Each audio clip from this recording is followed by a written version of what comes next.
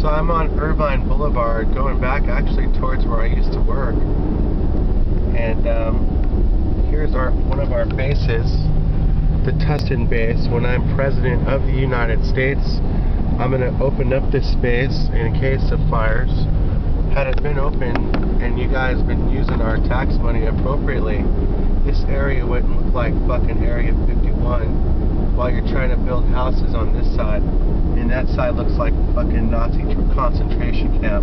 Just in case you decide you want to get mad at people for your negligence and for your setting up other people.